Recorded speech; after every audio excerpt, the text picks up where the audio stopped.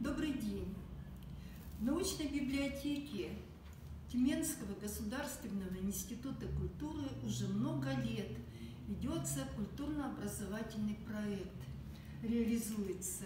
И в рамках этого проекта «Читать модно» мы делаем презентацию или представляем новые книги. В 2015 году Тюмень была потрясена.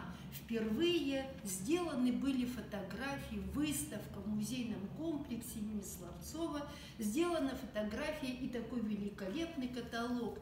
Еврейские фотографы конца 19-го, начала 20 века. И вот эта вот история, она была необычная.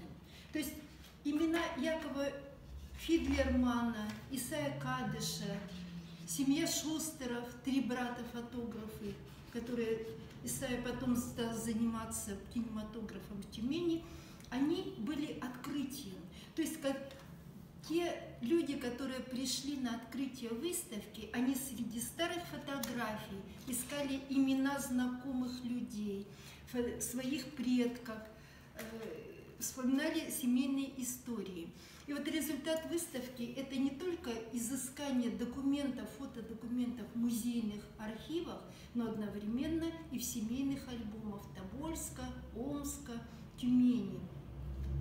Надо сказать, что вот этот каталог был издан Еврейской национальной культурной автономией города Тюмени, АВИВ, Тобольским архитектурно-культурным музеем-заповедником, Тюменским музейным комплексом имени Славцова, ну и с помощью активистов Тюменского клуба э, «Тюменская старина», клуб краеведа.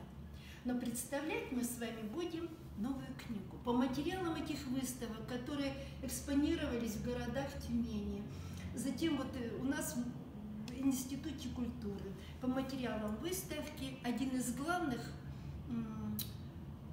Организаторов выставки – это наш раввин Игорь Евгеньевич Варкин – издал книгу «Сборник материалов по истории еврейской диаспоры Тобольской губернии». Книга издана в прошлом году. Вот это вот, э, этот сборник материалов включены круглые результаты или материалы круглого стола по тюменской иудаике, который вот круглый стол проходил в музейном комплексе. И, конечно, основная часть, вот как бы мы видели старый фотограф э, каталог, и основная часть этой книги это биографии, биографии фотографов, причем э, в публикациях, в материалах принимает участие как вот Лев Боярский, сотрудник музея, музейного комплекса имени Славцова, затем Геннадий Крамер, наш выпускник, и живет он сейчас высший научный сотрудник музейного центра Петра Павловича Елшова. Орлов, Попова, Сулимов, Игорь Варкин. Особенностью вот этой книги «Еврейские портреты в интерьере времени» мы здесь видим вот эта знаменитая лестница, задник, на фоне которого фотографировались семейные портреты, детей фотографировали, какие-то группы и так далее – вот этот вот взяли за основу, а Игорь сделал потом документальный фильм, который так и назвал «Лестница Шустера», дворцовая как бы лестница. И рассказ из этого документального фильма он сделал великолепную публикацию, рассказ о семье Шустеров «Незаконченные поиски портрета сибирского фотографа». Когда мы листаем эту книгу, мы видим не только фотографии. Во-первых, она прекрасно издана, элегантная по цвету, по оформлению обложки, намелованной хорошей бумаги, качественно издана. И эта книга тиражом всего 100 экземпляров. То есть книга уже стала библиографической редкостью. И вот мы видим портреты, мы вглядываемся в эти лица. И самое интересное, что параллельно не просто вспоминается, что фотография – это остановленное мгновение. Художник долго пишет картину, фильм снимается и затем монтируется, там коллективный труд. А вот фотограф увидел, щелкнул, и остановилась история, остановилась. Мы увидели портреты этих людей, как они смотрели, как одевали детей, как сами одевались, чем занимались. И вот эти вот портреты, факты биографии очень любопытны. Например, э, ты читаешь историю семьи Шустер, и я, например, первый раз услышала такое, что оказывается, оказывается, вот э, были такое понятие кантонисты. Мы слышали эти. Но в 1805-56 годах кантонисты – это название несовершеннолетних солдатских сыновей, которые числились с рождением за военным ведомством, а также вот она политика государственная, взятых принудительно в кантонисты малолетних бродяг, детей евреев, раскольников – польских повстанцев, цыган и прочих. То есть вот маргинальное как бы население, которые шли вне православной церковной традиции.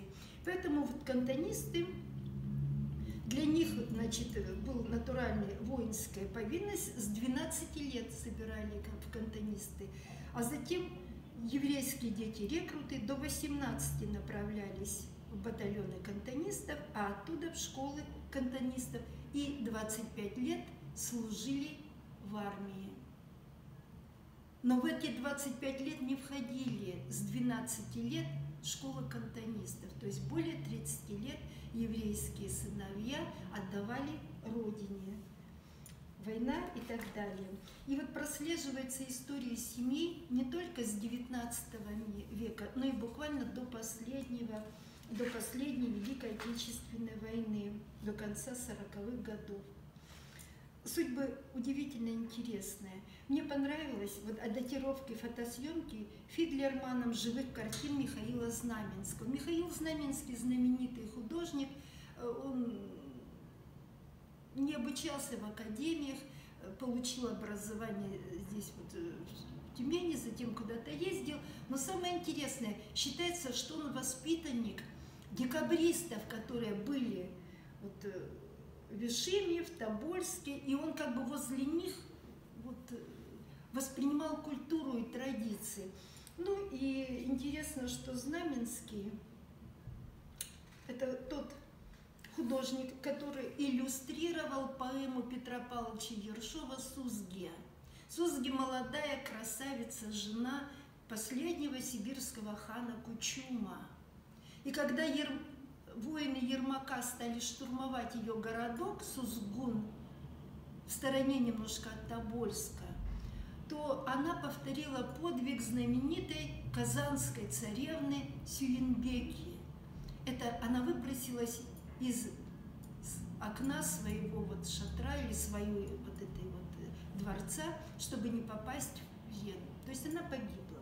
И вот эта вот романтическая история Михаил Знаменский ее не просто иллюстрировал, а когда решили в 2019 году, в 185-летие со дня известной сказки, опубликования всемирно известной кассы сказки «Конек-горбунок», и среди произведений Ершова решили восстановить Суздби и нашли материалы. Оказывается, в Тобольске, в Тобольске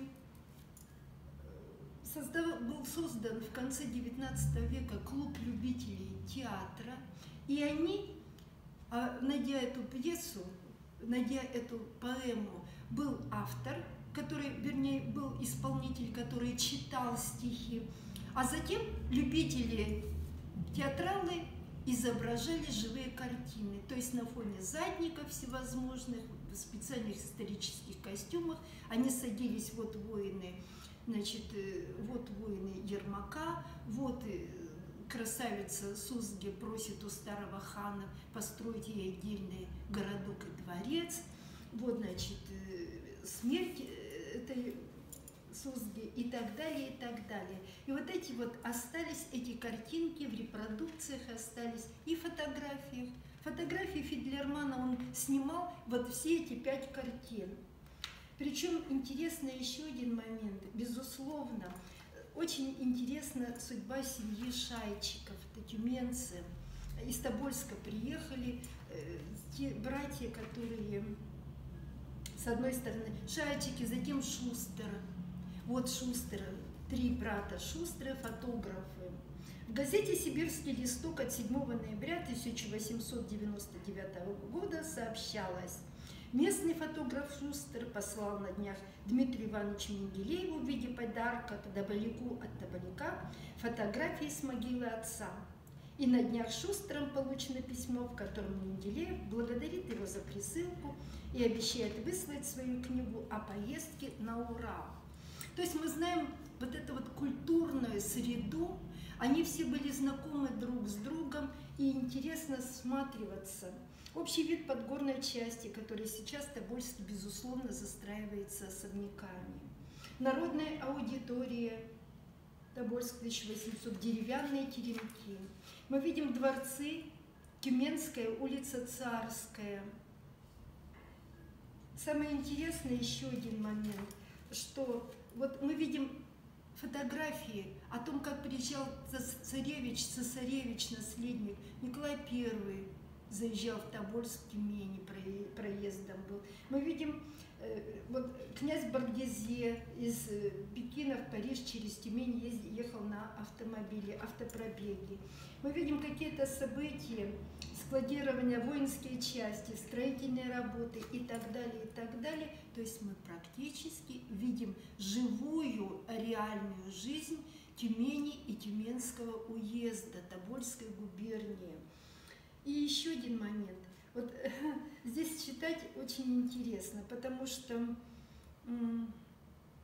для Тюмени первым документально зафиксированным киносеансом был упомянутый в Сибирской торговой газете за 12 июля 1897 года информация. На ярмарочной площади в особом балагане показывается синий графоскоп братьев Пипон, подражение кине кинематоскопу Люмьера.